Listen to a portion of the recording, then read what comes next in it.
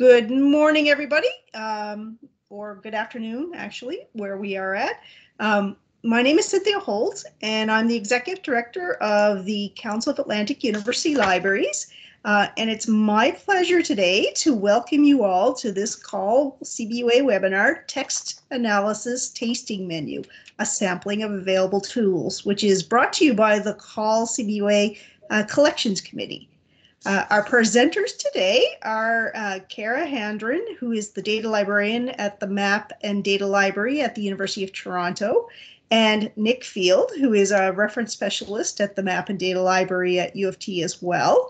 Uh, we are also joined by Kelly Schultz, who is the data visualization library at librarian, excuse me, at the MAP and Data Library at the U of T, who will be helping out uh, in case there are any questions that are more in her bailiwick. Um, so a few housekeeping things.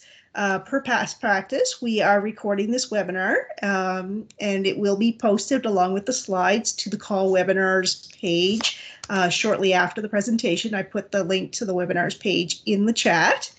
Um, you'll be directly notified as well once the slides and recording are available. Um, I ask that you please turn off your video unless you're speaking to optimize the, uh, the webinar experience for our attendees in low bandwidth areas. I also ask that you remain muted for the webinar unless you are asking a question. Um, for those of you who need it, uh, you can also turn on live captioning by clicking on the three dots either at the top menu or the bottom, depending on your interface, uh, and just clicking on the turn on live captions. Uh, following the presentation, there'll be time for Q&A, but if you have questions, please feel free to put them into the chat during the session. We'll be monitoring those and gathering those. Um, if there are any that might need an immediate response, just because they're specific to where we're at, like a technical thing, uh, we can't. We will be doing that, but otherwise, we'll try to save our questions for the uh, after the pre presentation. Um, before we begin, I'd like to acknowledge that the Council of Atlantic University Libraries, Conseil des Bibliothèques Universitaires d'Atlantique, uh, CAUL CBUA, represents member libraries across the region, all of whom sit on the unceded and traditional territories of First Peoples.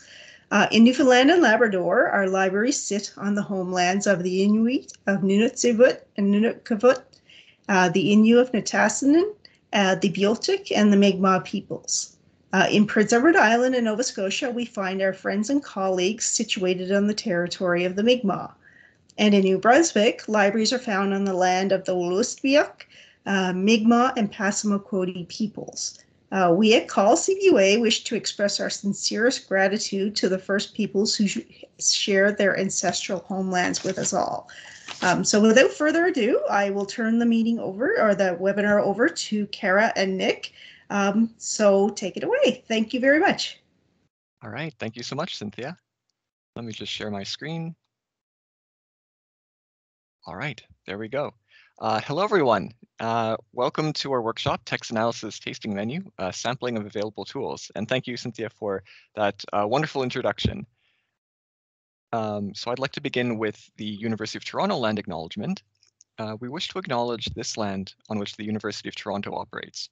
For thousands of years, it has been the traditional land of the Huron-Wendat, the Seneca, and the Mississaugas of the Credit.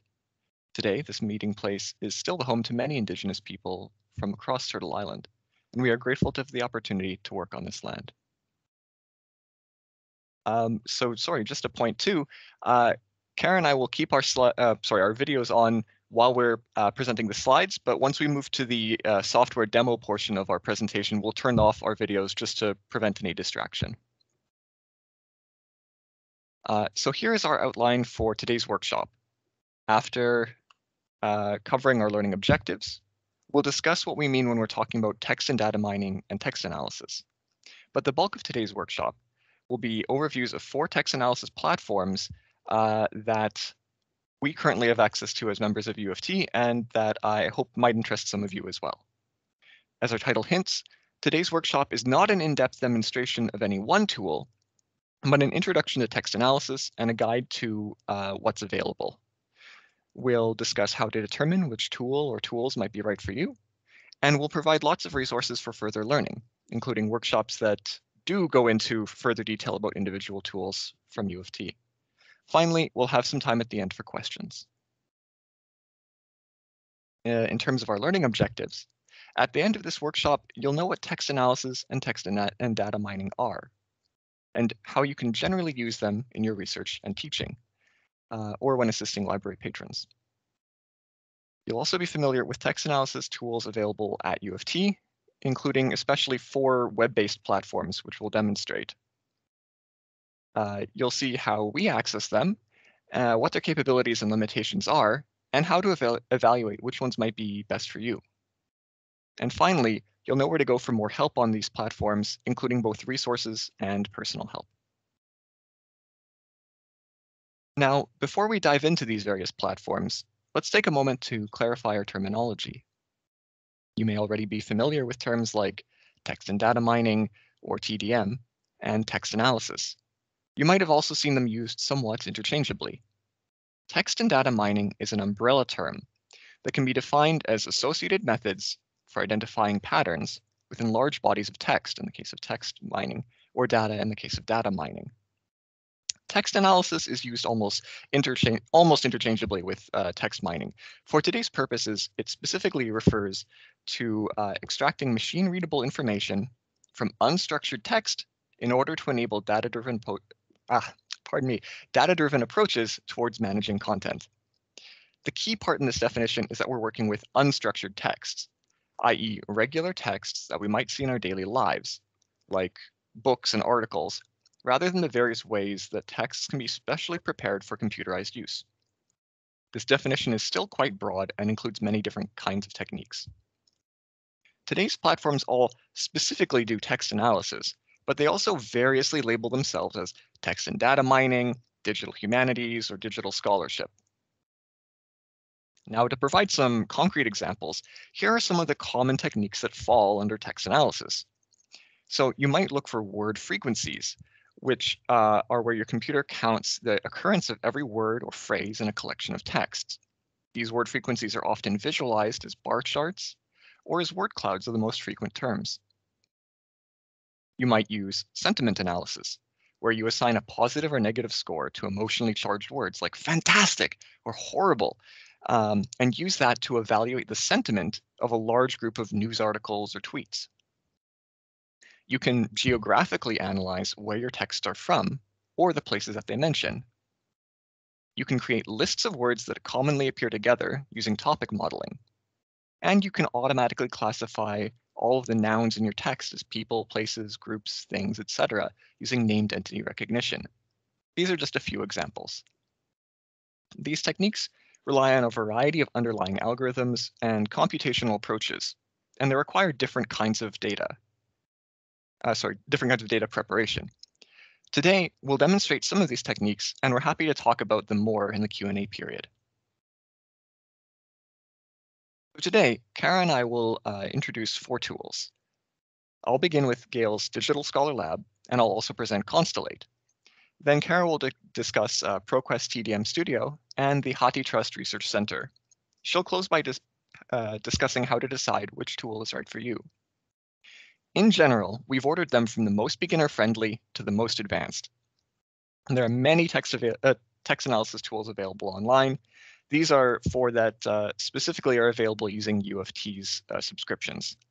Since we do, sorry, since we could and do teach workshops uh, exclusively on, sorry, teach whole workshops exclusively on just even one of these tools, uh, we won't have time today to cover them in depth. Instead, we'll give you a brief demo of each, about 10 to 15 minutes each, um, and then link to further resources, tutorials, workshops, and so on, where you can learn more about whichever suits your needs best. Uh, I should also warn you that unlike most of our workshops, today we'll be going too quickly for you to follow along. To save time, we've preloaded a lot of data. Just like on a cooking show where a chef will mix up a batch of cookies and then take out a freshly ba baked batch from the oven. Um, so please sit back, relax, and watch the tools in action. Okay, so first up is the Gale Digital Scholar Lab.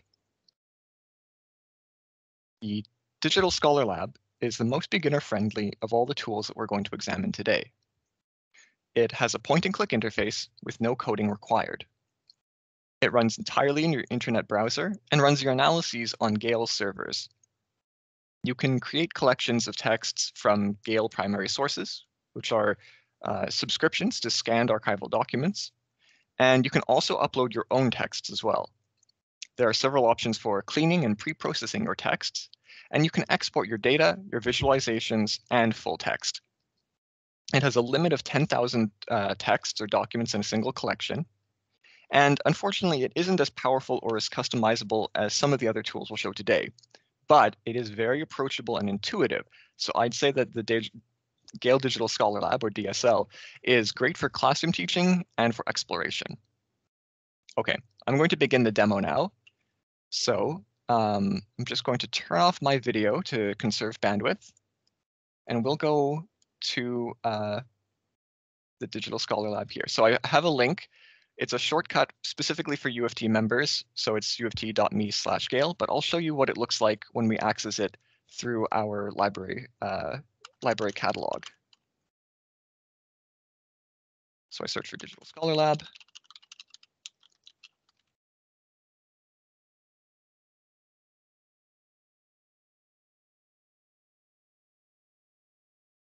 It's the first result. Click on it.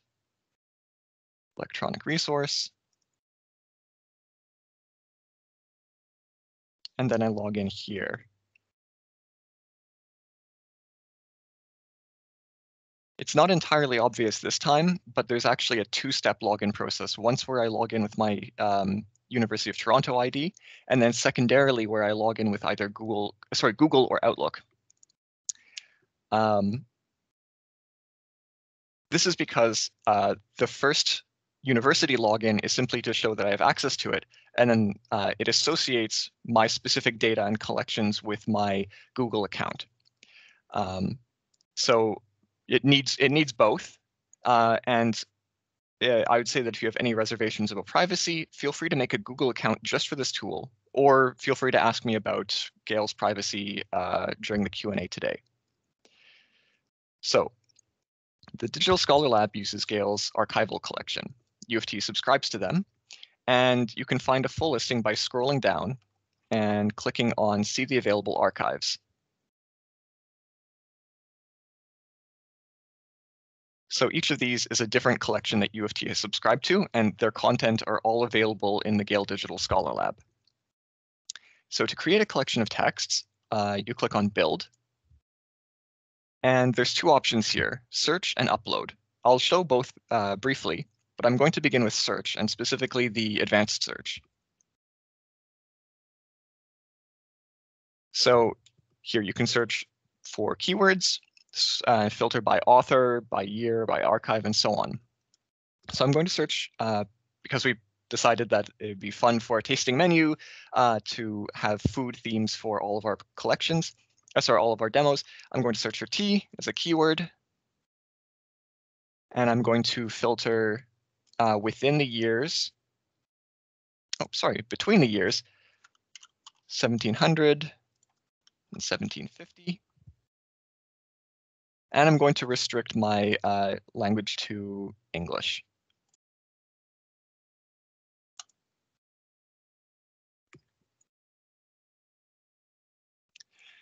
So here you'll get a list of results, um, and you can filter by language, year, various kinds of uh, publications, and so on. And you can also see the metadata available here on the right, and a brief snippet, as well as an OCR confidence interval. So more in a second. So once you've found some interesting results, you can add them to collections for future cleaning and analysis by checking them off and then clicking on add to content set. So check them off, click add to content set. You can create a new content set or add it to an existing one. Uh, I've already made a content set, so I won't add it right now. You can also uh, click on individual items to uh, look at them specifically. So let me just scroll down. There's an interesting one the case of the dealers in tea. Let's say I'm interested, I want to know more about this before I add it to my collection. Uh, so here we have the scan of the original document. My keywords are highlighted. I have a variety of image manipulation tools such as uh, brightness, contrast, I can invert. And then I also get um, the OCR text. on the side. So um, this text was produced automatically through a process called optical character recognition, or OCR, which takes images of texts and then guesses what each character stands for. So it's automated and it's much faster than a human can work, but it's not perfect. So that so this OCR confidence uh, uh, percentage here represents Gale's estimate of how accurate their OCR algorithm was. So you can add these one-on-one -on -one to your content sets, or as you saw with uh, the search results, you can add several all at once. You can also upload your own texts. So if you go to build, there's the option to upload. Um, from the build text, uh, from this build page, you have several options involving uploading. You can drag individual texts as .txt files. So let me show you. So you should see my window here. I have uh, some folders and I have a, a file. It's the Book of Tea. It's uh, a .txt text file, and I just drag it and drop,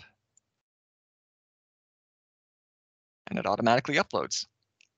I can check it off and add to a content set, say this one about T.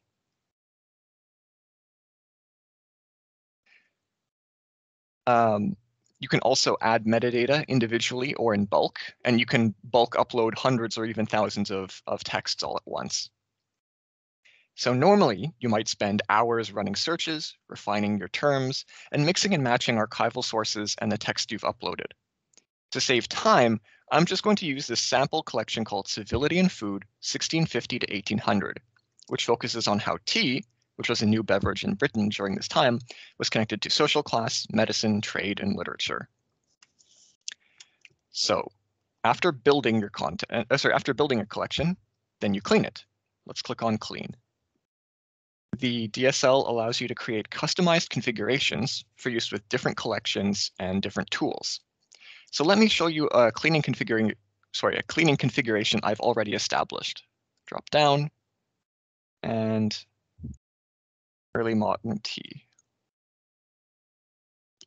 Okay, so you can see a variety of parameters. So here I've set everything to be lowercase, um, since some of the tools are case sensitive, and you can remove numbers, punctuation, and clean up the white space in very various ways.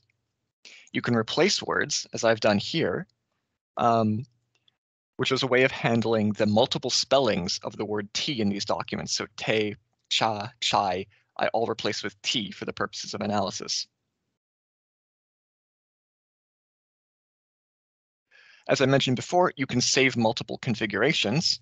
So you can save as, you can duplicate, you can download uh, spreadsheets that list information about how each configuration was set up for reproducibility.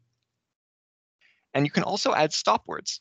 So stop words over here uh, are common words like uh, the, of, and that you can remove from your texts. So removing these texts, these commonly occurring words in English or another language, allow your analyses to tell you about words specific to your collection. Uh, I'm just using the default version here, but you can pick from a large variety of languages.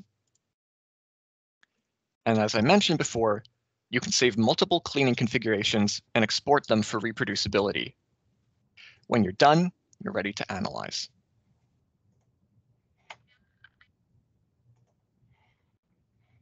So the DSL has six tools. You can add them by clicking, oh, yeah, so you can add them by uh, clicking on an add tool button here up here, and you can remove them using the same. They're uh, I should also say that you can run each tool with different settings, so allow, it allows for a lot of customization. Each tool also uses open source code or scripts, and the DSL adds a user-friendly interface on top of that. So just quickly de uh, uh, describing what each of these tools does. Document clustering takes a bird's eye view of your collection, showing how similar your texts are to each other in terms of their length, structure, and vocabulary. Named entity recognition tags all of the nouns in your collection as places, people, groups, things, dates, etc., and allows you to see in which documents they appear.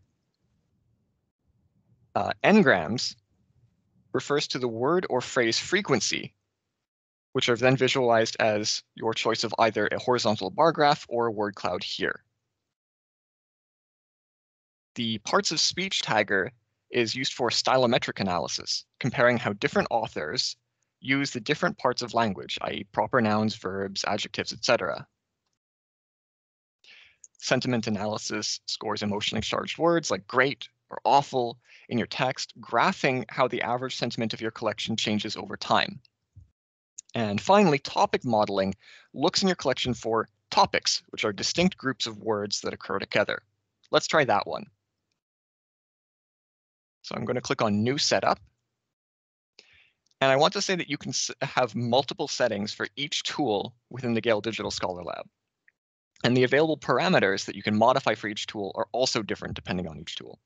So here I can decide how many topics I want. Let's say 20. Uh, how many words per topic? Let's leave that at 10. How many times I want the tool to cycle in the background before giving my, me my results? Let's leave that at 100. Sorry, 1000. And we can also set a cleaning configuration. So I'm going to pick early modern tea and I can run. Now, this tool takes a couple minutes, but just to save time, I'm going to go back and show you uh, the preloaded completed version. So this is the same setups. I just did it a few weeks ago. Great. So um, there's two components. So here, actually, on the left,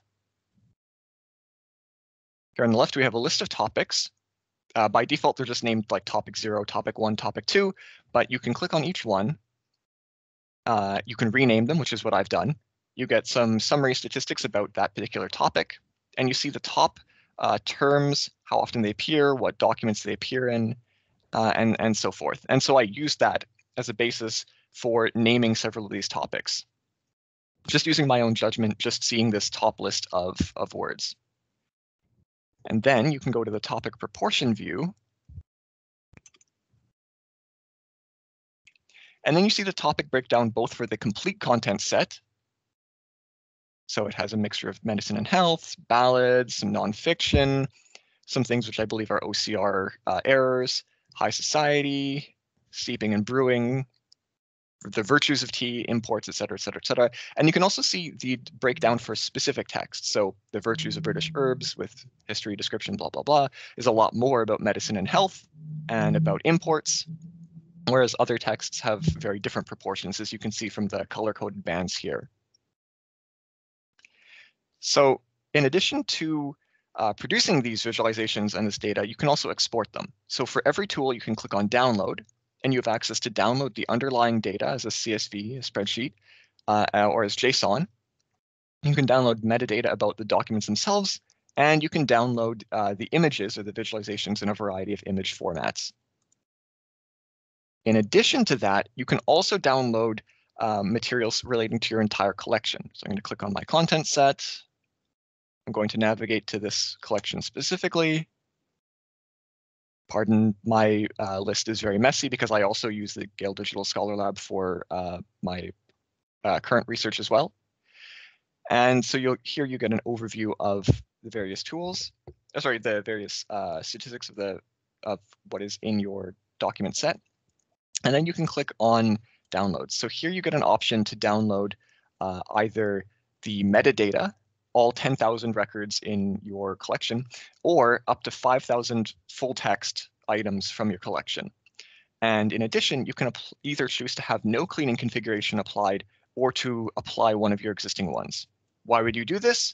Well, uh, having no cleaning configuration means that you will have raw texts that are easy for humans to read, Applying a cleaning configuration beforehand, however, means that your data will be pre-processed and cleaned and ready to go if you're using a more powerful tool on your own desktop computer. So to show you what I mean, here's the same collection. I'm going to download raw, original, and I'm opening up the first item here. And there's some OCR issues, but you can see it's mainly human readable at a court of directors ordered, blah, blah, blah, blah, blah. Now, if I go, I applied the cleaning configuration, look at the exact same collection, and again, you'll see that every single document is a separate text file. Open it up, and it's been it's been cleaned. So it's no longer human readable, but it is ready to pop into analysis into a tool on your uh, desktop machine.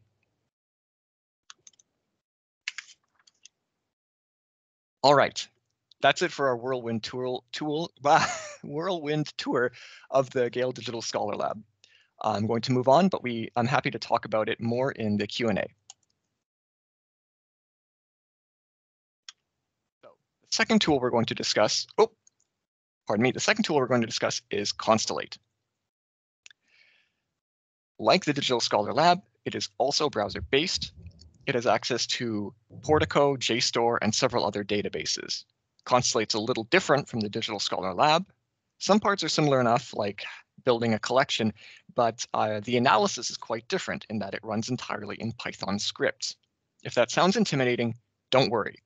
Constellate has many resources for learning Python, which also makes it a great classroom or self-teaching resource. And also has a slightly larger limit, maximum 50,000 records. Let's get started. So go to constellate.org, log in. I've created a JSTOR account. And oops, sorry about that.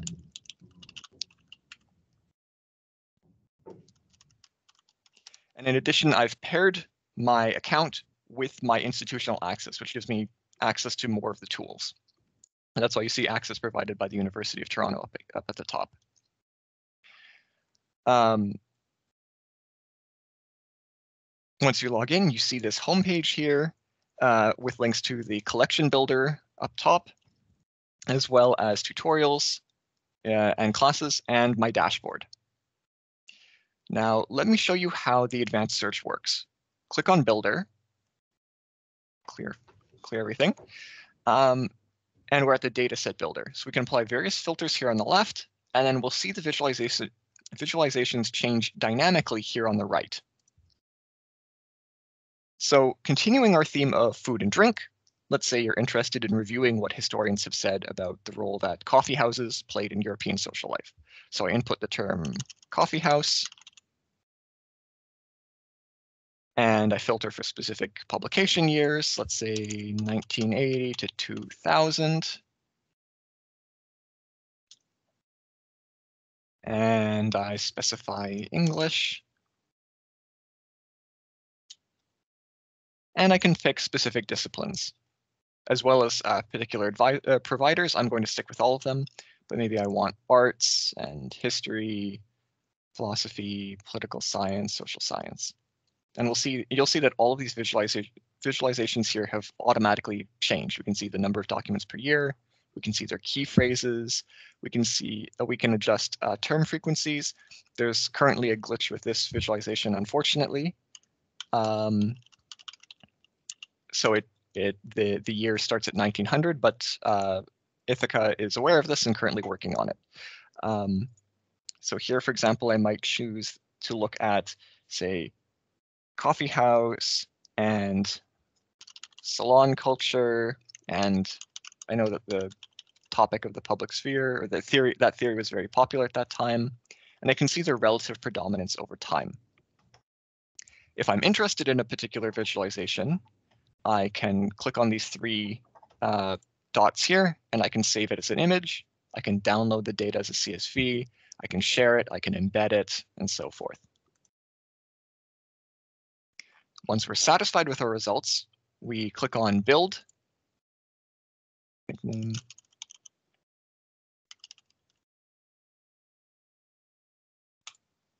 Create a nickname for your, your collection. It takes a little while because Constellate is gathering all of the collections in the background and uh, assembling their metadata. Fortunately, I've pre-baked it here. Uh, so I want to show you here, if I click on download, I have access to, I can download the sampled metadata, sampled metadata, uh, n-grams. Grams are uh, phrases uh, n words long, um, and full text, JSON-L. And if I go to more download options, there's even more options. So I can download uh, data up to the full collection of 50,000, uh, as well as, as request unigrams bigrams and trigrams, which are one, two, and three word phrases.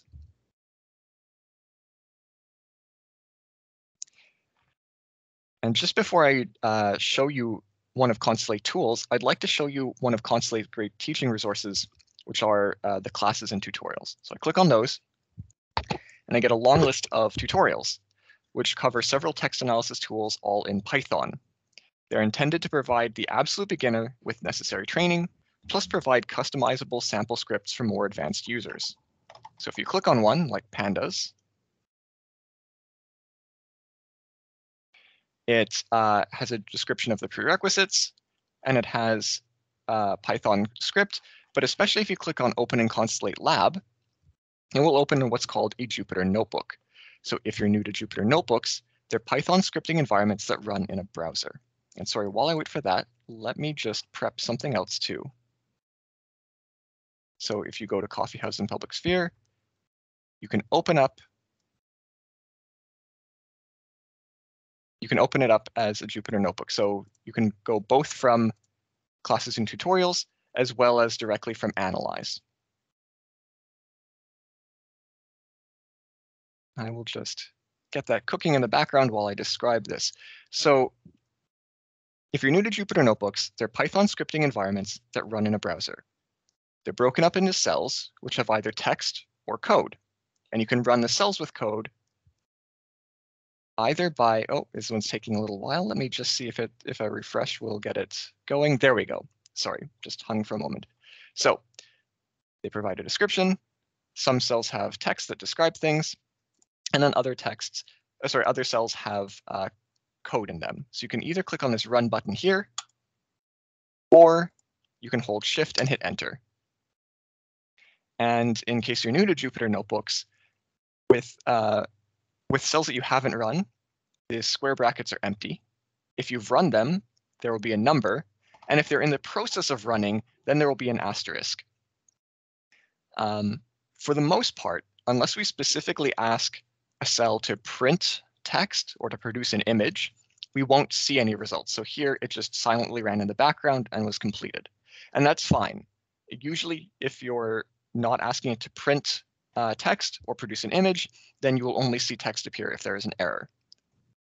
Uh, and I also want to just demonstrate that it's very simple to modify the code. So here we're feeding it a sample list of some data, and it's very easy for me to just modify it, rerun it, and in a second it is, is modifiable. So it's very, uh, very modifiable. It's very useful for teaching because they have a lot of documentation here I'm not going to go through this one in depth, but they describe what every line of code does, what every cell does, and they have a large number of uh, teaching resources. So let's go back to this topic modeling one.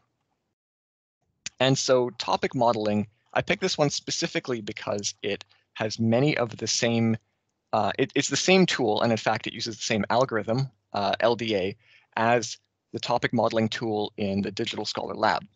But here, you can see it running uh, in Python as opposed to through a graphical user interface.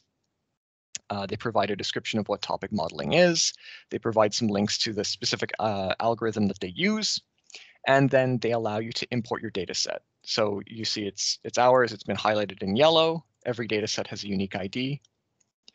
Uh, they provide, in addition to loading the data, they provide various ways of, of cleaning and pre-processing. So there isn't necessarily a separate cleaning uh, step, well, there can be. Uh, so there's a pre-processing um, cell here. There's a separate tutorial for for sort of filtering, a separate customizable uh, tutorial for pre-processing and filtering your data. If we did that, then there would be a customized CSV here. Uh, similarly, just like with Digital Scholar Lab, we can modify, we can create a stopword list, we can modify it. It also looks here for if we've done that. And you can see here a list of the stop words that have been produced. Um, then it provides a lot more sort of customization in terms of uh, various parameters and so forth that can be run here in Python as opposed to the Digital Scholar Lab. And then it begins creating a, a model. And you can see here it has the asterisk here uh, and is busy uh, running this particular model. It's just finished. And here we go. It lists, just like with um, the Digital Scholar Lab, you can see a list of the topics here, various topics as well as their words. And voila, this is something I think is really cool. It has a, a different kind of interaction, uh, um, interactive visualization than the one in the Digital Scholar Lab. So here, uh, each topic is represented by a circle. Um, their, their proximity and their overlap shows how close those topics are to each other and how much they overlap. You can see an interactive list of topics appear on the right. And you can also uh, export this as an HTML file separately, and so you can load it into your website somewhere. So I think this is a great way to visualize topic modeling, and I think that it's it's very interesting to see how much sort of maybe more learning is required to uh, do topic modeling in Constellate, but also how much more uh, flexibility and power you have in terms of running that tool here. Okay, so that's Constellate. We just finished the Gale Digital Scholar Lab before. Now please hold on a moment while I stop sharing my screen and hold hand over the reins to Kara.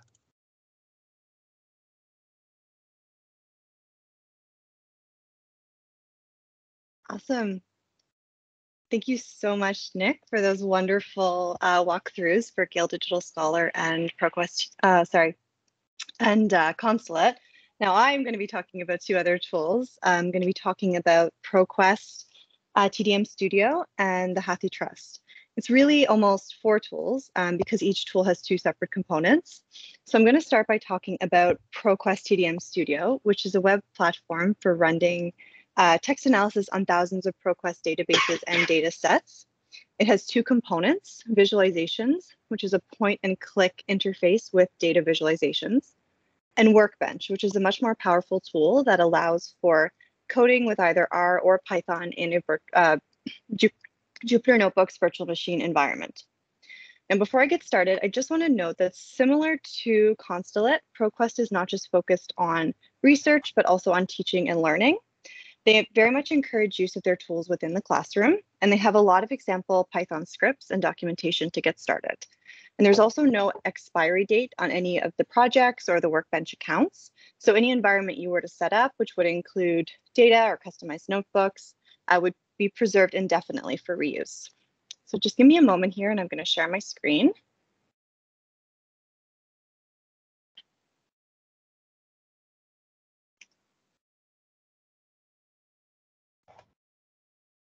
All right, and we'll get started with the ProQuest TDM Studio. Oh, sorry, just one second here. I think I unshared.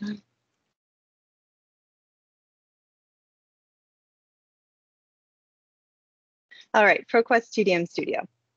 So get starting with visualizations.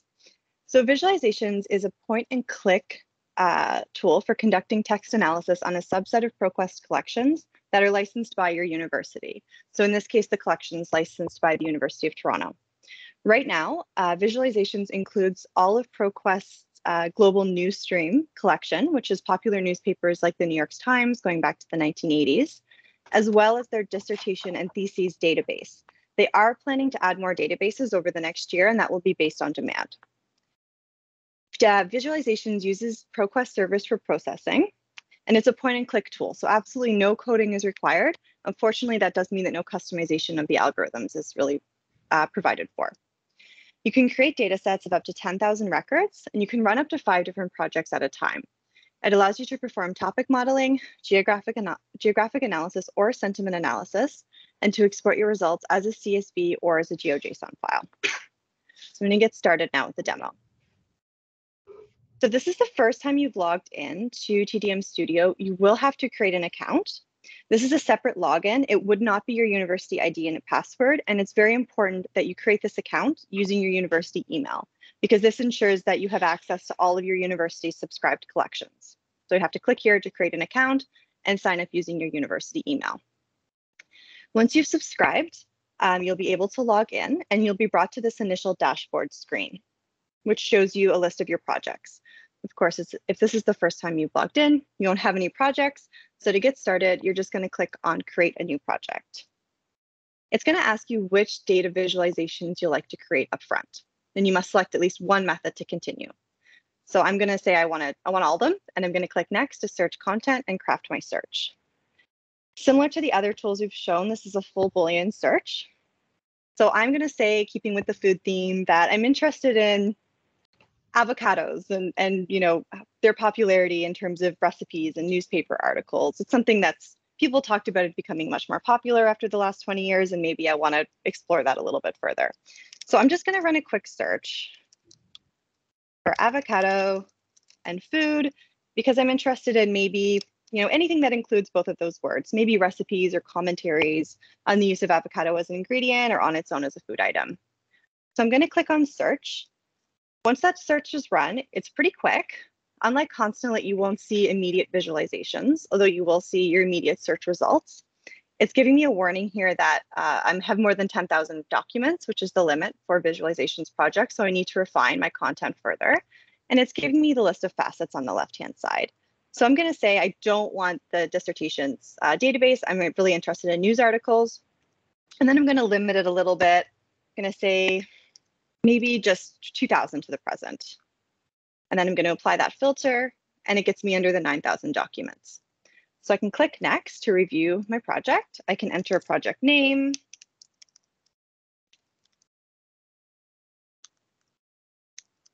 Something descriptive so you'll be able to recognize it and click on create your project. It's important to note that it can take a couple of hours for your project to be completed. This depends on the size of your data set and the load on their server. So what you'll get is a project submission notification that says it will take a few hours and you can click close. It's usually much quicker than that. I'd say half an hour, but it can be a bit slower sometimes. And you can say here that you can see here that you cannot currently select this data set. It says selected visualizations are being applied and to check back later.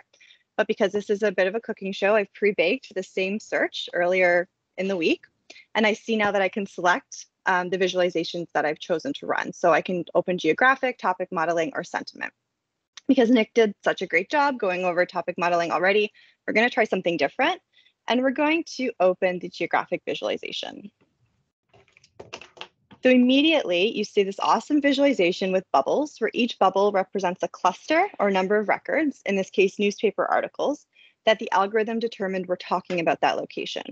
And this is really what the geographic analysis is doing. And all the behind the scenes details about what libraries and tools and algorithms are going into running these analysis can be found in ProQuest documentation. But for the purposes of this demonstration, it's just important to note that it's trying to determine where, not where an article was written, but what it's writing about. So I can zoom in, and as I zoom in, I can see my clusters disperse. I also have this great little time slider here. So I could change this to say, I, you know, changed my mind. I really only want to see things after 2004. And then if I click on one of these little bubbles, I can see these articles that appear on the side um, that are part of that cluster. I can click on those to view them individually via ProQuest. Or I can choose to export the data and I can download the data as either a GeoJSON or a CSV. You can also, of course, take a screenshot of this visualization. It's just a quick note that these texts were OCR'd similar to the other tools we were talking about earlier. So while a search will run on the entire document, you can really only export document metadata. This will be titles, dates, IDs, geographic extents, or take screenshots. The full text is not really accessible to export or manipulate in any way via visualizations. So to really work with the full text or customize further, you'll need to work with Workbench. So I'm going to talk a little bit more about the Workbench environment. okay, so TDM Studio Workbench is a much is a very different beast. This is a virtual machine tool that uses both ProQuest and Amazon Web Service servers.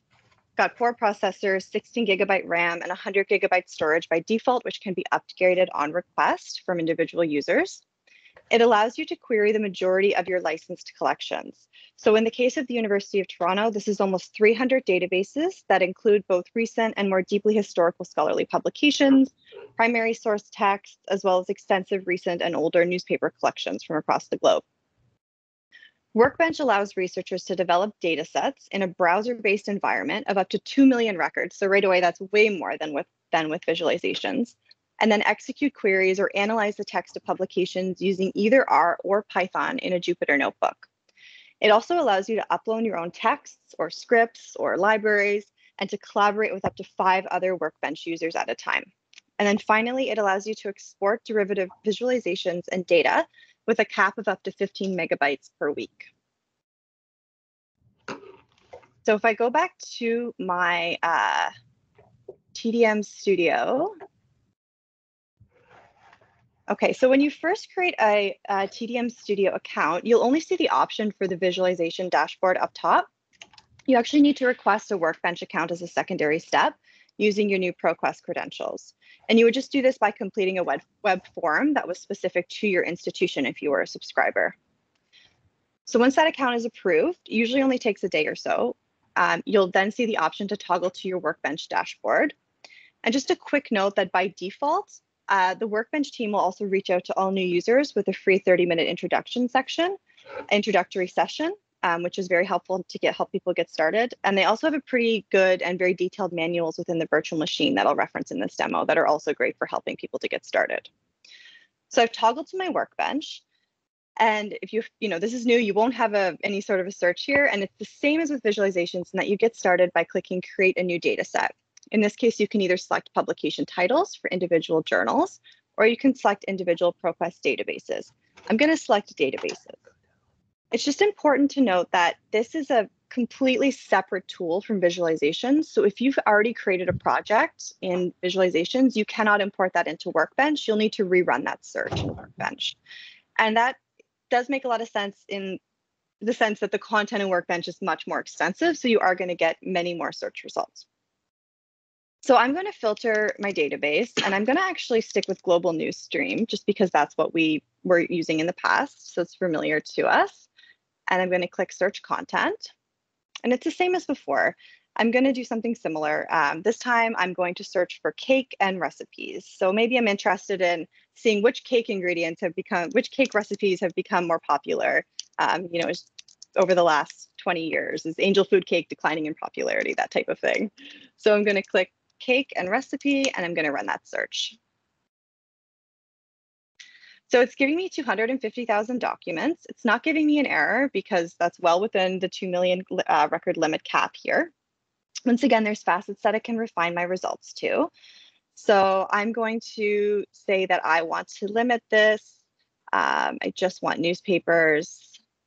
I'm going to apply the filter there um, 225,000 documents. I'm not going to really apply any more filters because I want to get as comprehensive a, a, set as possible. And then I'm just going to click review data set. It's going to ask me for a name. So I'm going to click in a name and it's going to ask me just for a description, which is optional, and then say create data set. It's the same thing. I'm going to get a submission successful. If I close, it's going to take me back to my dashboard and the status you'll see when this pops up, it's going to be in process.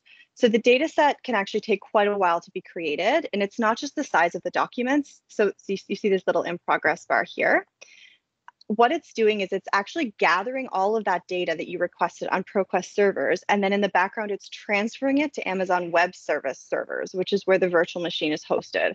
So it can take a while and it won't be available for you to manipulate in Jupyter within ProQuest Virtual Machine until all of that information, all that, that data is available in uh, the Amazon Web Service servers. So it can take a few hours. So I've kind of done this one already in advance. So it's here. Uh, I had created a date range for this one, which is why there's a little bit of a different document count. But I can click Open Jupyter Notebook to start working with my data set. If this is the first time you've logged in, you'll need to toggle your environment on, which can take about 10 minutes as well. Um, or if you haven't been logged in for a while, it might have disconnected. So just an initial step to get started. So I'm going to click Open Jupyter Notebook. It's just going to take a minute or so and I'll give you a very brief overview of kind of the, the structure and kind of the capabilities within this virtual machine environment. So I have a few folders here. Um, the data folder is where my uh, data is actually stored. I recommend not clicking on this. Um, it will freeze trying to display a very long list of XML files, which will prompt you to have to restart. There is terminal access here. So if you'd like to view a file list, using you can use you can do that or read individual um, XML files using Linux commands. But I'm going to go back here. Um, so they have this great getting started guide, which includes manuals and samples. So manuals include things like guides for, you know, common XML tags, how to select content, uh, export instructions, how to get your data out once you're done working with it. And then if you go back, there's this uh, samples, which include a bunch of sampled uh, Python scripts that can help get you started, very similar to what Constellate uh, had done. They are working on sample scripts in R as well, and those should be in development um, and available sometime during the summer. My home folder is a little bit messier, just ignore that. Uh, what's happening is that they're in the process of getting rid and of some old folders and restructuring some things, but for users who have old Workbench accounts, um, the deprecated folders aren't going to be removed for a while because some research groups are still relying on those older scripts for processing. But if you were to create a new Workbench account at this point, you would just see data and getting started, and that would be it. So it would be much more cleaner to look at. Of course, you're not limited to any of those sample scripts as well. You could go ahead and create your own notebooks in Python or R to run whatever analysis you'd like. It's extremely customizable. The samples are just designed for you to be able to quickly modify to help you get up and running. When you create a new Jupyter notebook, there's a few options here. There's R or Python, which are just completely clean environments that working with either R or Python programming language. There's no libraries preloaded in there or there's the sample environments 1.1, which is preloaded with a lot of common Python libraries that are used for text analysis, and sample environment R, which is preloaded with a lot of R libraries similar, um, or R modules that would be used for text analysis as well. So I'm going to just quickly run through one of these sample scripts that I ran earlier, just to save time as well. Um, so this is an n-gram viewer script. So what it's doing is, so n-grams meaning frequency counts where n is the number of words like unigrams, bigrams. So what it's doing is we're going to select at particular n-grams that we're looking for, and it's going to chart those for us over time. So I won't go through this in detail as well, but what it's doing here, it's importing all the required libraries that we're going to need. Um, for example, Beautiful Soup for parsing the XML, or spaCy, which is a library for uh, natural language processing in Python. And it's going to ask us to set our keywords. In this case, I'm setting angel, flourless, and sponge. Those are the cakes I'm interested in. And it's going to ask us to select our data set. So it's going to have the data. This would be blank, and then you would just populate that with the name of your data set. It's going to pull all the articles into us for a list for us to use. Um, then it's going to uh, essentially sort, do an initial sort of the articles initially um, and print each one as it successfully runs through it. It would give you an error if it wasn't able to process that XML. I'm not seeing anything here converting those to a data frame. It's giving us a quick way to verify the data to that this is what, you know, it's doing what we think it should be doing. And then it's going to sort that data frame into three different data frames. Data frames just a like a uh, tabular data, like a spreadsheet uh, viewed within a Jupyter Notebook environment. So it's going to sort it into three different categories. So one separate data frame for each keyword, and then it's going to get this the article uh, sort the articles by date essentially. Um, and it's going to give us this uh, term count over exact dates and how many articles were published on that day. And then we're going to resample that to Summit by year. So then we get this cool little graph of, of our first keyword, which I believe was angel, and the term counts. And then the next thing I'm just going to do is I just copied those cells and replaced a keyword one with keyword two, and I ran that for the next two keywords. And then I can run this cool little graph at the very end, which is essentially copying all of the key, copying, sorry, comparing all of the keywords against each other. So plotting them against each other.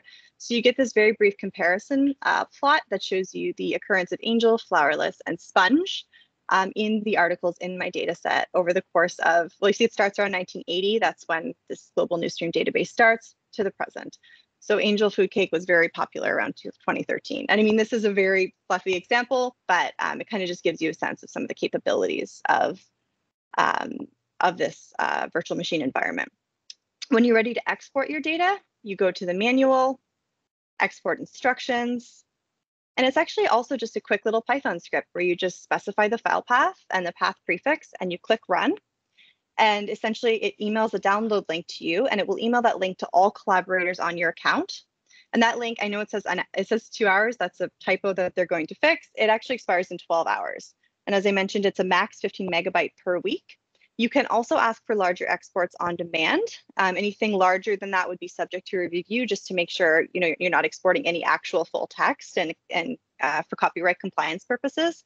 Um, but this could be done by emailing their technical support um, and then they would send the results to you in several batches. So that is a quick overview of ProQuest. And now I'm going to talk about HathiTrust. So HathiTrust, uh, HTRC, or the HathiTrust Research Center, is the research arm of HathiTrust, which is, of course, this massive digital library containing millions of titles from institutions all over the world. So the HTRC develops tools and resources that enable text or computational analysis of the content in the digital library. This corpus includes over 15 million volumes, which is mostly books and journals, about 3 million of which are in the public domain, and it covers 400 languages and publication dates from 1500 to the present. HTRC has developed a whole suite of tools, the two main ones being algorithms and data capsule, which I'm going to outline today. However, information on other tools is available from the HTRC, and there's also some information on the MDL website as well. So before we get started, I just want to note that unlike the previous tools, the HTRC is much more focused on research and research groups and less so on classroom teaching and learning. So the first of these tools, Algorithm, this is a browser-based tool that uses HathiTrust servers for processing. It's point and click and no coding is required, although like Constellate, it does provide for a little bit of customization of the algorithms. It allows you to query all HathiTrust public domain content. So it's about 3 million, um, 3 million individual uh, documents. And you can analyze work sets of up to 3,000 records and have up to four projects running at a time. It currently allows you to perform topic modeling, named entity recognition, or token count and create a tag cloud. And you can export those results as a CSV or take a screenshot. So to log into the HathiTrust, uh, it's just analytics.hathitrust.org, and you sign in using your institutional credentials. So I'll just sign out and sign back in just to show you what that looks like. You select, sorry, you select your institution, in this case, University of Toronto, click continue, should take you to your university's uh, login page and then it'll redirect and you'll see that I'm now logged in, although nothing else visually changes. Once logged in, to analyze data using algorithms, so if I click algorithms, you see the available algorithms that I just mentioned here. But to use these, you first need to create a work set. So if I go to my work sets, um, I see the button here to create a work set, and there's several ways to do this. This a work set's just a project or data set. It's just different terminology for different tools. I can upload a file of volume IDs. I can create a work set from a HathiTrust collection, or I can create a work set using this new beta uh, HTRC workset builder. I'm only going to talk about this option today, creating a work set from a collection. However, I'm happy to speak to others later on in the Q&A or, or following.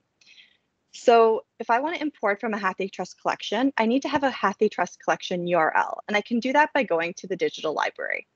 In the digital library, if you're authenticated via your institutional login, you can create your own collection by searching for items and clicking on individual items and adding them to a collection, or you could always use an existing collection. So to save time, I'm going to use an existing collection. So I'm going to search for American cookbooks. And there's this great collection called Early American Cookbooks that was created by New York University. So if I click on that collection, I can see all the individual items, 1458. But what I'm really interested in is this link to the collection, because that's what I'm going to need to pull this collection in as a work set. So I'm just going to copy that. I'm going to go back here and I'm going to paste it in and click fetch collection. And it's going to say success. That was right. It, of course, if you're you know, there's a typo in your URL, it will tell you pretty quickly. I'm going to give my collection a name and description is auto-populated if one already existed. And then I'm just going to click create workset. You see this workset becomes automatically available. There's no, there's no delay here at all. And now it's available for me to analyze using algorithms. So if I click on algorithms, and this time I'm going to select uh, token cloud or tag cloud creator. And that's just going to identify the words that occur most often. It's going to remove stop words, identify the remaining words that occur most often, and create a tag cloud visualization of the most frequently occurring words. So I'm going to click execute. It's going to give me a bit more information about how this works. For example, it's only going to look at body. It's not going to look at the header or footer. It's going to remove stop words. It's going to sort the tokens in descending order. And then it's going to ask me for some information. So a job name, So I'm going to say cookbooks to uh, select my work set for analysis. So I'm going to filter for my work sets. I'm going to select my work set, specify the predominant language. This is helpful in removing stop words. I know it's English, so I'm going to say English. Uh, please point to a list of stop words you'd like to remove. You can upload your own. Same with replacement rules. In this case, I'm just going to use the defaults.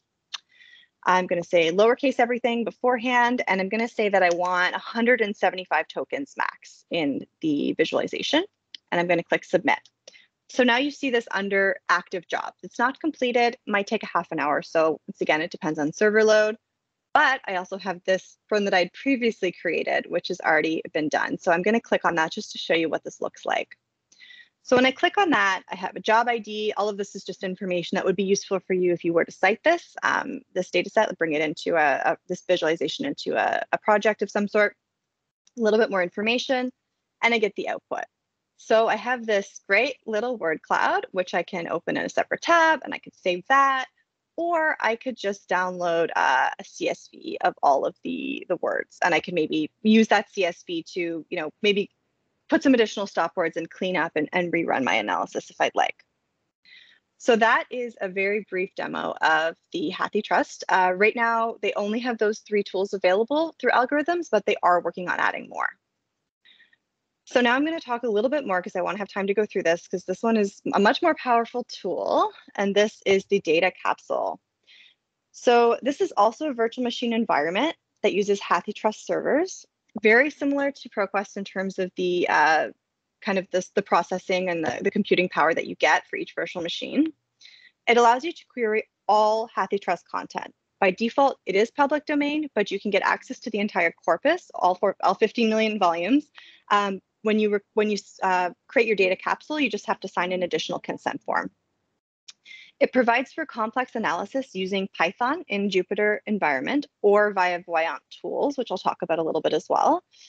It allows you to upload your own texts, code, or libraries also, similar to Workbench. And it also, similar to Workbench, allows you to collaborate with up to five uh, HathiTrust Research, Cent Research Center users. So if anyone has an HTRC account, you can add them to your data capsule. It allows you to export visualizations and data up to one megabyte per file. Once again, larger exports are possible on request with an absolute max of 67 megabytes. A quick note that any export requests from the HTRC are subject to, uh, to manual review by an actual person working at HTRC. And this is for copyright protection to make sure that you are only exporting derivatives, that you're not exporting anything that could be recognized as full text, like no paragraphs or, or anything like that, or um, OCR data. So if I go back to my HTRC, and this time I'm going to click on data capsules up top. And this is the first time you're here, you won't have a capsule before, you'll need to click create a capsule, and you'll need to click on a research capsule. It's going to ask you for some information like the title of your project, how much computing power you need, a description of your project. Um, here's the option where you can request a capsule with access to the complete HathiTrust corpus, and you have to explain why you need that access. Um, so there's a little bit more information, and approval is can take a day or two for this type of uh, capsule. So to save time, um, what I'm going to do is I'm going to create a demo capsule. This is a smaller machine. It essentially has all of the same functionality, other than that is it is limited to public domain content and you can't export anything from it. But otherwise, you can play around with it. It's a great way to explore data capsules and see if it might work for you. So I'm going to select demo capsule. I don't have to do anything. I just have to create capsule and agree to their terms of use. And it's instantly approved and instantly created. So you see this one hasn't been started yet. So once created, you'll see that your capsule has a unique ID and it has some status and actions information. Um, it also has an expiry date. So unlike Workbench, capsules expire fairly quickly. Um, they will expire demo capsules in a month if you don't use them. Um, and research capsules, I believe, expire in a year if you don't continue to use them. So you just have to make sure that that stays active if it's something that you're, you know, ongoing, uh, if it's an ongoing research project. Capsules have two modes. They have maintenance mode and they have secure mode. Uh, it's important to be aware of what mode you're in. Maintenance is where you need to be if you're uploading your own data from an outside connection. It allows you to connect via remote desktop or terminal to your capsule, and it allows you to have an internet connection. However, you'll need to be in secure mode to open and work with any HathiTrust data.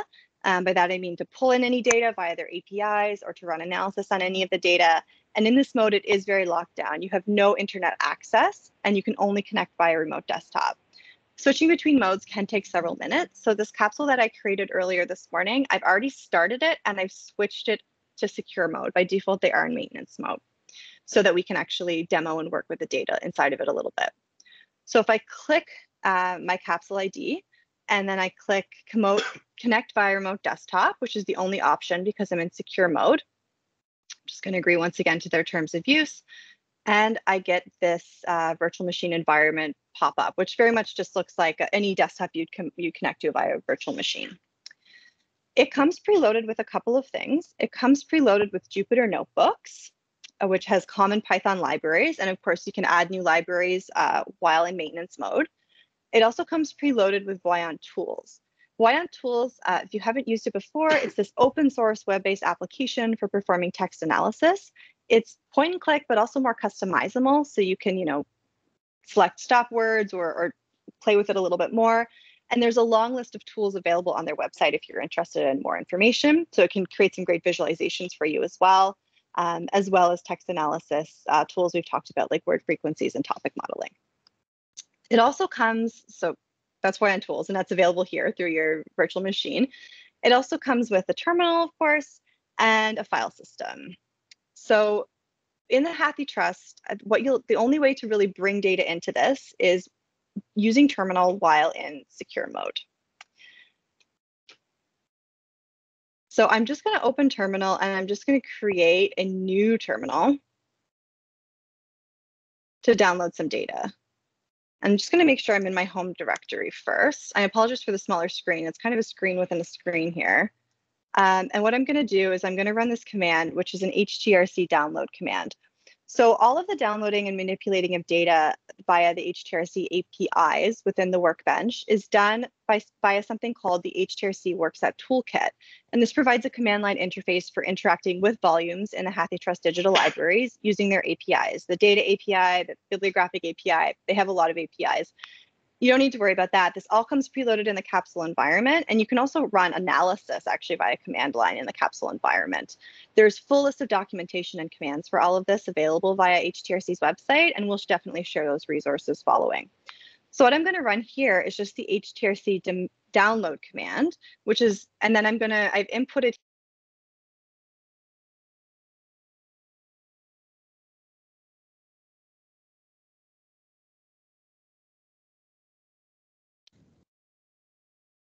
I'm not sure if we've lost Kara. Uh, you went mute, Kara. You accidentally muted yourself. Oh, I'm so sorry. Where did? At what point did I mute myself?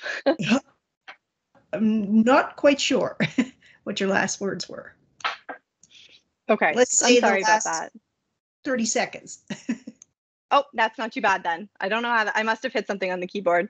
Um, okay, so I was just saying that the HTRC Workset Toolkit is something that comes preloaded uh, in all the Workbench environments, and it provides a command line interface for interacting with the digital library using their APIs. All of it is it's preloaded, um, and there's very robust documentation about this Workset Toolkit, and we'll definitely share that following.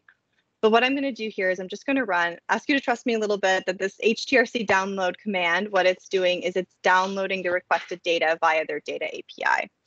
And the data that I'm requesting to download is that same collection that we were just working with in analytics, um, sorry, in algorithms. So it's that early American cookbook uh, uh, collection.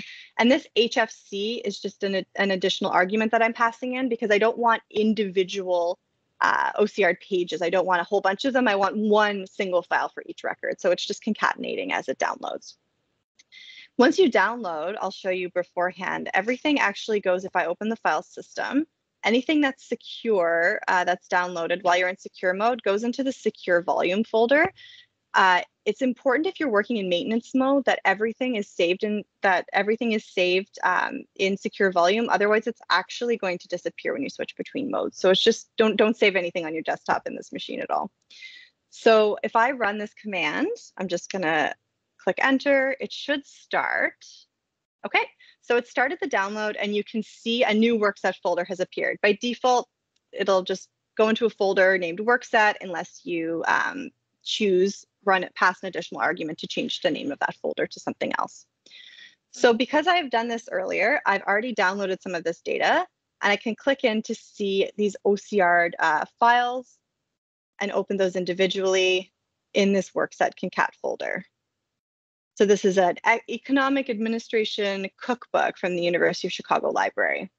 As I mentioned, the default file structure that you see if you download, if you don't pass this uh, HFC argument, is you're going to see a folder with each HathiTrust ID. So you'll see a folder with this CHI 476, and in that there'll be individual OCR pages. It's completely up to you if you want the data to be retrieved in that way or to be retrieved in this concatenated way, depending on what you're looking to do. So since we've run a lot of, uh, we've looked at Jupyter quite a lot, I'm going to show you a quick demo in Voyant. So if I double click on Voyant, it's going to open this. It's going to open a browser within a browser. Um, so it's essentially a locally hosted interface that I can interact with. It's going to ask me to just open, select an existing corpus, or upload my documents. So you would just click upload. I'm just showing you this offline because I've already done it to save time, but you would just, this would launch within the virtual machine. You would click upload, you can select that whole folder that you've just downloaded, and you can click reveal, and it'll take a few minutes, and then a new Chrome window will pop up with your results within the virtual machine. So if I go back to the virtual machine, I'm going to open that Chrome window with my Voyant. And here we go. So this is quite a powerful tool. Uh, once it opens, you'll see some visualizations right off the bat. You'll see this awesome word cloud that you can, you know, customize and rearrange on the fly. Um, you'll also see this reader of the OCR text and this document count and trends in terms of counts. And you can drill down into this further. If you click on any of these and interact with them, it'll change the view in the reader. It'll change the context and correlations below. So you're seeing keywords in context here where, you know, this I've selected salt, so salt and what occurs before and after salt. Um, you can also look at uh, word correlations in the same way, and you can look with individual, you can drill down within individual documents, or you can look at your corpus as a whole. You can also see a summary of your documents here on the bottom left-hand corner. So you're seeing this corpus has 264 documents with 26 million words, 218,000 unique words. It's giving you a longest average document length, vocabulary density, average words percentage, most frequent words, distinctive words. You know, this is a baking stuff, so fillets and fish and don't appear too often, neither does dung, but it does appear occasionally. And you can export any of these. So you can uh, if you just hover up top near the visualizations, you get these buttons appear. So you can export and embed, you can export uh, tools or the data, or you can expect export the visualizations. And you would want to save those in your secure volume folder. Once you're ready to export your data, this is also something that you do in command line. So you would just open a new terminal and you would spec you would run a very simple command, which is also available in that documentation that I mentioned earlier that we will send along. And it, the command is just release results. So you just type released results and you add the document uh, name. So if it was results.pdf if, or results.jpg, uh, if you'd say this image is a JPEG that you wanted to release, and then uh, just run a second command that's just the word run, and it's going to send that off uh, to the HTRC team to review to make sure, like I said, that it's just derived data. There's no, you know, no, no full text or anything in there and they're usually pretty quick. So within a day or two, they'd send you a link, um, and you would get a link via email to download your data. Similar to Workbench, that link would go to all collaborators on the account, and the link would expire in 12 hours. So that is a very quick demo of Workbench. I want to leave time for questions, um, but I just want to quickly go through a couple of comments about choosing the right tool. So I'll try to get through this quickly. Um, so generally what we advise folks is that, um, you know, usually after a workshop like this, people are wondering what next, you know, what tool do I want to spend a bit more time looking into, uh, maybe attend a more dedicated workshops on. So the three questions really are, what are you looking to do? Uh, what derivative products do you need? And do you have collaborators? So under what data, what are you looking to do? Of course, what data is a huge thing. Are you looking to analyze an entire corpus, just selected items? is it okay if the tool allow, only allows access to public domain content, or do you really need access to the entire corpus? And of course, which corpus? Because there is some overlap, and a lot of the tools, some of the tools at least, do allow you to upload your own text, but they do work off separate collections, and they're designed to work with separate collections. So that might be a limiting factor. Do you want to run analysis on full text or the metadata only? So is it important to you to work with databases or data sets that allow for full access to full text content? Or is it okay to have access really to just metagrams and a su- metadata and a subset of derivatives such as n-grams? And based on these, how large do you anticipate the data you'll be working with to be? If you need to work with a huge subset of the corpus, you're likely going to need one of the virtual machine environments for the simple reason that you're going to run up against record limits really quick. Also, what type of analysis are you looking to do? This is a very simple chart. It is not comprehensive, but of course, very broadly, tools with virtual machine environments are, are more limitless in a sense, um, kind of limited by your knowledge of, of the programming languages that they're using. However, um, point and click tools have a much lower learning curve. So if the analysis you're looking to do is available via a point and click tool and you're okay with running using the presets for these algorithms that often cannot be changed and can sometimes be a bit nebulous, then maybe a point and click tool is for you. But if you want full control over the analysis or you want to run additional algorithms, um, you know, are you willing to put additional time into learning these and learning the programming languages required? Secondly, what derivative products are you looking for? Uh, are you looking just for visualizations, the underlying raw data, or both? And do you need the content to be easily read by humans or only by machines? So it's very different if you're looking to just export some data in a data frame, um, you know, from a data frame in CSV format or create a little visualization to append to a report or paper, than if you're looking to really run some additional complex algorithms on this data on your own machine. In that case, it really doesn't matter what it looks like. It's more about the access and the computing power you have at hand. And finally, do you have collaborators? So do you need a collaborative environment? And this can include everything from uh, you know, an easy way to link shared data sets or collections or a fully collaborative working space. And related to that, do you want your data sets or the environment to be maintained or easily replicable for teaching, learning, or research? So some of these products like Constellate are very focused on teaching and learning and have developed researchers, resources to support that whereas others like the HTRC data capsule are more heavily geared towards research groups.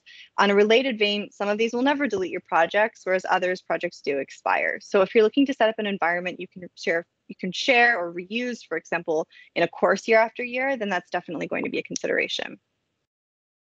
So where to go for more help? As mentioned, um, we're going to distribute some resources, including this cheat sheet that we created, which covers absolutely everything that Nick and I touched on today and much more detail on a lot of the products. So it will, it's a quick, uh, it's a resource to allow you to quickly survey the capabilities of each tool and determine which one you might want to explore further.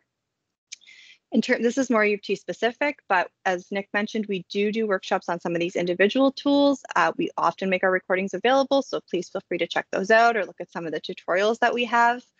Um, and the test the uh, the link that we will send you with all of the cheat sheet also contains all of those links for uh, resources from U of T, but also platform vendors like training materials, sample code, documentation, and vendor-led workshops as well.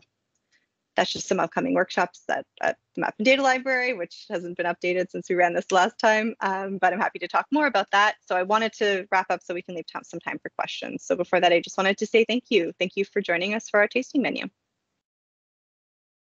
Thank you so much, uh, Kara and Nick, uh, for a fantastic overview of several different tools. Um, I must admit, I, I was I am slightly overwhelmed, but uh, but I'm sure.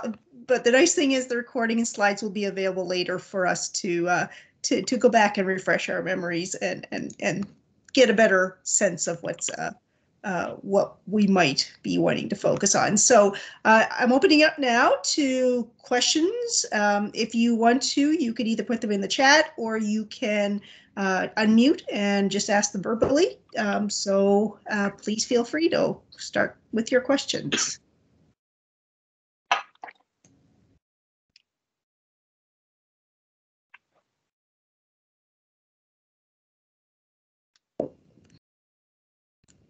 Peter was briefly there. you there, Peter? yeah, I am. Yeah, sure. I'll start off. Um, can you guys talk a little bit about costs? Uh, I mean, I know it's hard because you know whatever the U of T is paying for these products will be different for other institutions. I'm Peter Webster from St. Mary's University, by the way.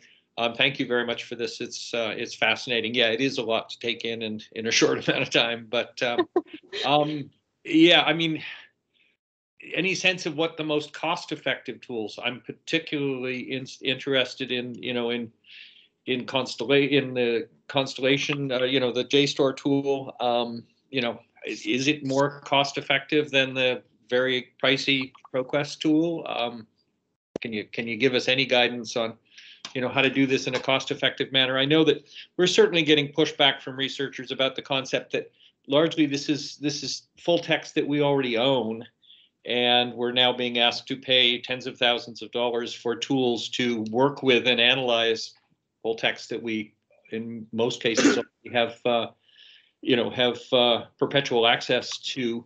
Uh, that's my other question, particularly with the ProQuest tool. Is are you are we only analyzing perpetual access content that you already have, or are you actually looking at licensed content? And that's enough for me.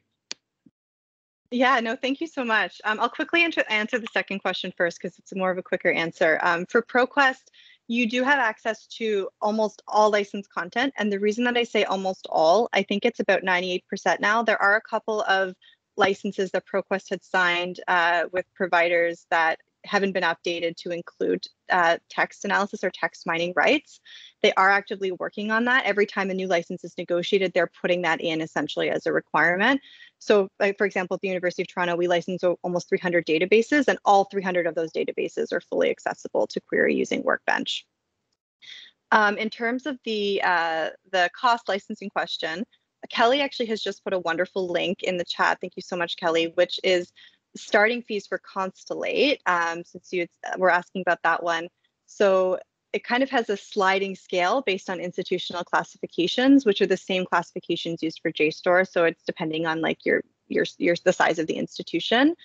Um, I don't know, Kelly. Do you want to speak a little bit more about that? I know you've been more closely involved with those with those negotiations with Constellate. Yeah, I'll just add quickly that um, uh, Constellate's really flexible and really um, wants people to try it out. So right now, U of T is just in a learn and evaluate trial. So we're not actually paying anything. Um, and I'm sure that if you contacted them, the, the contact information is on that page that I put in the chat. Um, you can you could eh, arrange a trial easily to try it out. And they're also really um, easing people in. So there are prices very transparent on their page um, and they're offering discounts in the first and second year to kind of ease you into the costs. Um, and I would say that Constellate, like if I had to choose, I would say Constellate is a great kind of middle of the road. It's got a little bit of point and click, but then it starts to introduce people to using Python and Jupyter notebooks for text and, and data uh, text analysis. Um, I mean, the limit is on that you're looking at JSTOR material. So, I mean, that's definitely a limitation, but there are ways that you can um, import in your own text to analyze. So, I think it's a great kind of intro tool. And I would say that the costs are quite affordable, probably compared to the other tools. I'm not, I'm not actually privy to the costs of the other tools. Constellate's the only one that I am aware of, but also they share those fees online. So it's, it's nice to kind of get a judgment there. I hope that helps. Yeah, thank you, Kelly. And I just want to add to that that um, a lot of these these tools are, are fairly new um, from the vendors themselves, and the vendors are actively working to develop, um, you know, and they're very much, they're very, from our experience, anyways, they've been very responsive and very open to you know even just trials like if you were to contact them to ask them about a trial there's there seems to be a lot of drive to you know try to get more people on board and willingness to provide you know for those trials so that people can and institutions can really try them out. Um, so they've been fairly flexible to date so it's definitely worth just starting that conversation i think if there's a one that you're particularly interested in. And I absolutely agree that Constellate's a great a great middle middle ground um, in terms of the tools we covered today. That's great. Thank you very much Any other questions, comments? This is your chance. and and just uh, if you think of anything later as well, um, we will. Uh, I, am sure Kara, Nick, and Kelly will be uh, very happy to entertain any questions that you might think of after the session ends. Um, thank you for the link, Kara. Absolutely. This is something that we're very much just exploring ourselves. Um, this is something that's been a growth area over the last year. Like in the last six months, I'd say it's exploded um, in terms of the the questions that we're getting and you know the, the opportunities to try out different tools that are, are being presented to us. So um, it's very much a growth area. We're very much in the learning and exploring phase ourselves. So we'd love to hear about um, you know what other folks are doing and maybe maintain this national collaboration because it's great to hear about others' experiences. It's, it's just not possible for one group of, of people at any institution, even at a, a, larger institution like U of T, to really have a chance to to try out and explore all of the tools that are under the TDM umbrella. So we're very happy to to have been invited today and to keep this conversation going as well. Thank you, Kara. Uh, Chelsea, you have your hand up.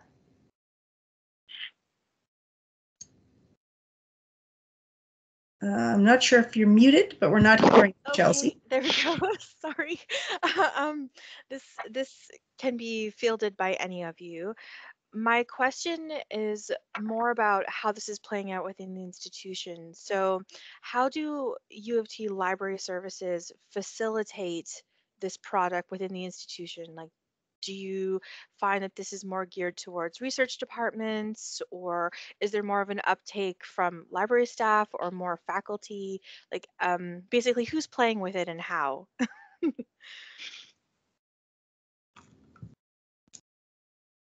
Do you want that me to multi that was multi, multi many questions in one maybe but yes anybody anybody can go for it.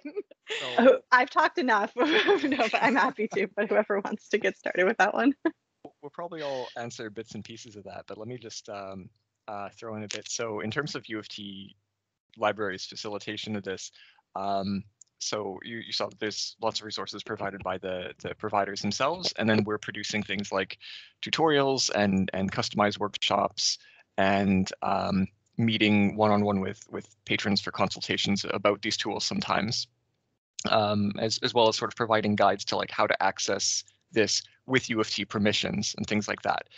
Um, so you know, so it's it's kind of a mix of like materials from the providers and ourselves. Um, uh, well, the other question is, oh yeah, who is who is using it? It it differs by tools, and I must say that some providers seem more transparent about that that data than than others. Um, I think again, Constellate was pretty good, although I think I might have to defer to you, Kelly, about uh, the details of of of that. Um, yeah, actually, maybe I'll just hand it over to you at this point, Kelly, if I may. Yeah, no worries. I mean, I think I think definitely like um, some humanities researchers, especially and social science researchers, are quite interested in these kind of tools. But what I what I actually wanted to say is that some of like you know, Nick and Kara have, you know, given you a wonderful presentation on our text analysis tools, but that's only one piece of TDM as they said so themselves. So we have researchers asking us about kind of more data mining as well. That's a whole other section. They might be more looking at like citation analysis and bibliometrics, and they want to look at um, other data sets that we provide. Um, we uh, license the Linguistics Data Consortium data sets, so we have those for data mining.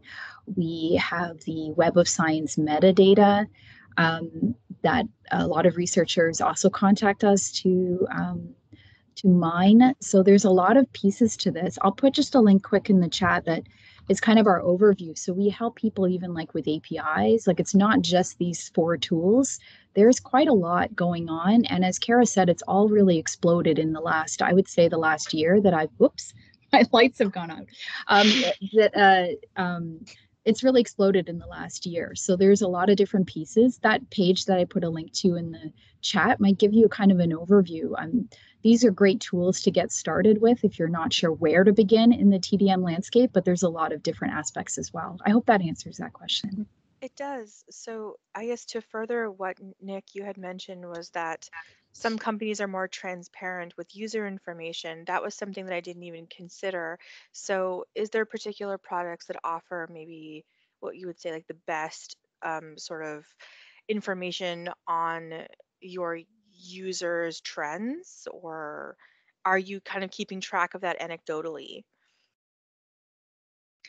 That yeah, I mean that's not something that we've like all of these are fairly new, right? So it's not mm-hmm. something that we've really kind of started to dig into. We have more like we more just like ask them. We have numbers of how many people like we know through Constellate that there's x number of people and that's growing same with proquest tdm studio you know every month they say like oh so many new people signed up for for a tdm studio workbench account like that that type of a thing so we haven't asked them for more more granular information. I'm not even sure if that's something that you know they in terms of what people are looking at or, or what anal i'm sure they know on their end what you know analysis for example or what algorithms are more frequently being run but it's not something that we've really looked to to date. We've just we just know that there is increasing usage and we've seen questions come in through our support um, you know for consultations on users who are in for researchers all over the university who are interested in this type of thing. So um, yeah that's a good question. It's something that we should maybe think about in future as well.